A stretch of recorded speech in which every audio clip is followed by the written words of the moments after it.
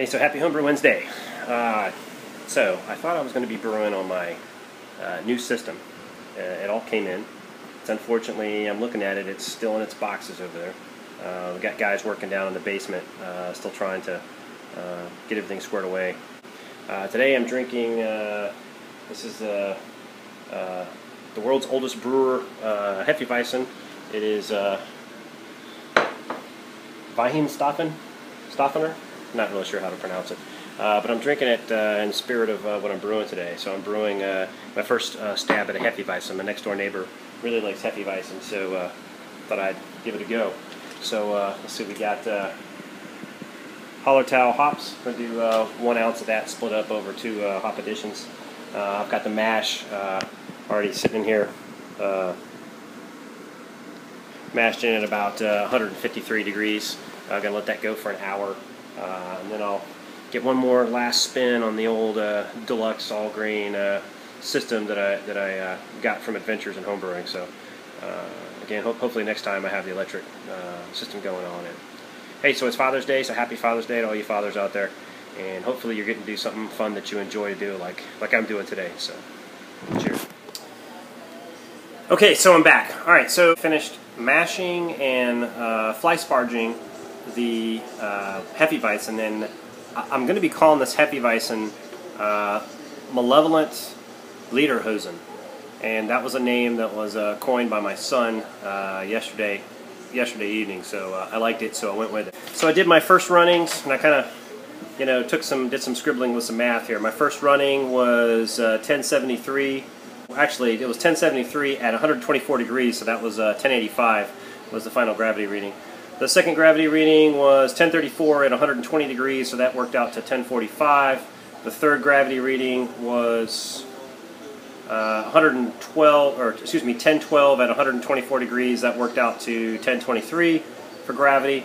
Uh, and then the before boil uh, gravity reading I got was 1033 uh, at 118 degrees. That worked out for 1043, I believe. So before uh, boil gravity was 1043 uh, for, I have six and a half gallons. Uh, so gravity units wise, that is 279.5. And I think that to get kind of my target, which is uh, a gravity of 1050, I'm going to need to boil down to about uh, a little over five and a half gallons. So I mark my spoon. This is my high-speed uh, volume measuring device. So I mark my spoon with a rubber band so I know how to measure down to uh, five and a half gallons, uh, a little over five and a half gallons, so I should get the 1050 that I'm looking for. So uh, see how this works. Math is fun. You know, I, I, keep telling my son, hey, no matter what you do, even if you're a brewmaster, you know, you're going to have to, you know, if that's your career choice, uh, you're still going to have to use math. Uh, so anyway, uh, I'll come back when I get a little closer. I'm get, starting to get, uh, looks like it, I'm just under 200 degrees. So crank up some tunes, have a, have a home brew, and you know, get ready for the boil.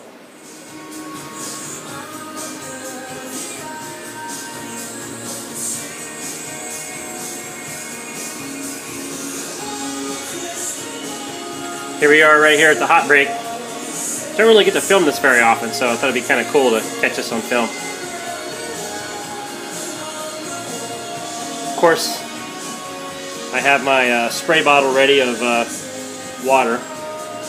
Find that very effective. I'm telling you, a spray bottle is is amazing when you're when you're dealing with a hot break. Okay, here comes the first hop drop.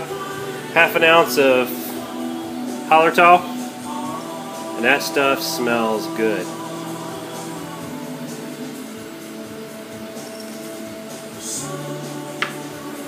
Alright, there we go. At it turning green. Okay, I'm to go so I don't mess this up. Okay, so for this batch we're using uh, White Labs WLP 300 Hefeweizen. Hope it works. And you know, something cool is from my last batch, um, I did some grain or some uh, yeast harvesting, and this is the, if I can get this out, this is the uh, yeast that I harvested from my last batch, which was a uh, supposed to be a California blonde. It's more like an IPA. You can see the little layer of yeast in the bottom there. Saves you a lot of money, and uh, I've used it now in a couple of batches, and it works really, really well. Okay, so uh, I'm taking a little break here. Uh, I've got about, you know, probably 20 something minutes till the next uh, next hop drop I got to do. So I want to do a couple shout outs real quick. Uh, first of all, uh, Josh Secor and Aaron Gross. Uh, what can I say about your videos out at the National Homebrew comp- Conference competition?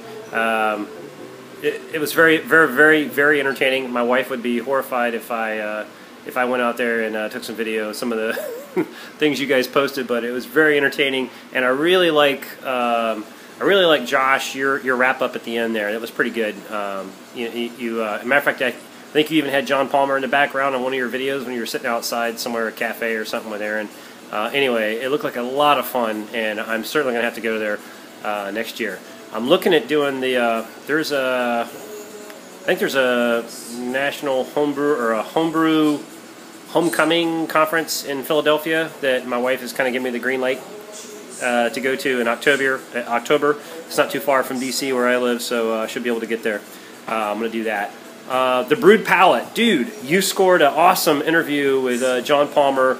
Um, you're like the master of interviews. I've seen you do that twice now. The last time you interviewed somebody else, I can't remember who it was, the brewmaster, but I don't know how you do that. It must, you know, I don't know if it's because you're a homebrew club or whatever, but I really enjoy your videos. Uh, you know, I appreciate the time you take to kind of, you know, explain through uh, kind of what you're doing. And um, anyway, don't worry about not posting every couple of weeks. Uh, your posts are awesome. Uh, so uh, look forward to seeing your next one. Uh, Molson, hey man, your garden is freaking phenomenal.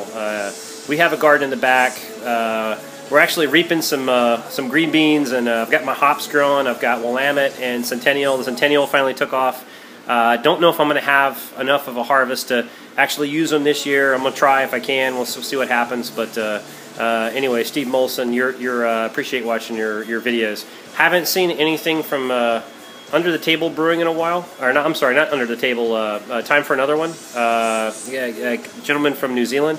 Haven't seen any videos from you in a while. I think I saw you doing some kind of, you were in a bar and you were trying a couple of different types of beers uh, that you made with different hops. Uh, but look forward to seeing some of your videos because you have a really cool uh, electric system that I'm I just got electric system. I want to set it up, so uh, I like watching your videos. Um, Under the Table Brewing, uh, uh, Nate and and the, the senior and Fresh P. I mean, you guys are you guys are probably the best homebrew updates you know, very entertaining. Uh, you always have a lot of stuff going on. I don't know what you do in your day job, but uh, you have a lot of time to devote to homebrewing, and uh, you, are very experienced. And I, I, watch you guys and uh, try to learn what I can, uh, kind of picking apart what you guys talk about. But uh, appreciate all your updates. Keep them coming. I, I, for one, you know, watch them quite frequently. And I got to say, BrewTubers, you guys have been a very good asset for me. I just started doing this in December of this past year, so December 2014. The day after Christmas, I brewed my first batch, and it was an all grain. I didn't even mess around with extracts. I jumped right into all grain because I didn't know any better. Uh, I used that deluxe system for about I don't know uh, through th- through June, and now I've got my electric HERMS system that I'm ready to set up. So if you guys uh, have any suggestions, tips, whatever, please go to my video, uh, make a comment in the bottom, you know, subscribe, and, and tell me you know uh, any pitfalls that you found, uh, so I don't you know burn something up or you know the one thing that I've kind of noticed is that you don't uh, energize the elements without it being fully submerged. Uh, so I think I've got that. But if there's any other tips that I need to know that you can save me some headache, I really would appreciate it. And I promise I will put a lot of frequent updates to let you know how my uh, brewery is going.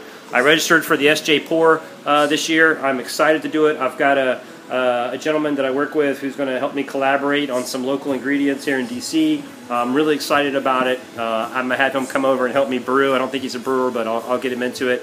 Uh, and I'm gonna look to, to join some uh, local uh, brew clubs here in the area. So anyway, I'll come back in a few and we'll wrap this up. Bye. So I forgot one shout out. Uh, I forgot to mention Northern Accent. Dude, you have some really good videos too. I'm really enjoying your hop experiment videos. Uh, you put some pretty good thought into your to your reviews. The only thing that I would say, if I had to critique you about anything, would be your choice of a football team. I mean, everybody knows that you know the Go Pack Go. You, you need to you need to you need to relook that. Maybe uh, perhaps Cowboys. Uh, I'm just saying. Anyway. so happy homebrew Wednesday. Um, all right, so first of all, I'll start off by telling you that I'm drinking a Sculpin uh, grapefruit IPA, or grapefruit Sculpin, whatever it's called. And the reason that I'm drinking this uh, grapefruit Sculpin is because I need to treat myself because the brew day that I filmed earlier that I showed you clips of ended very, very badly for me. I had made my very first Hefeweizen um, successful brew, uh, by all accounts, uh, my account.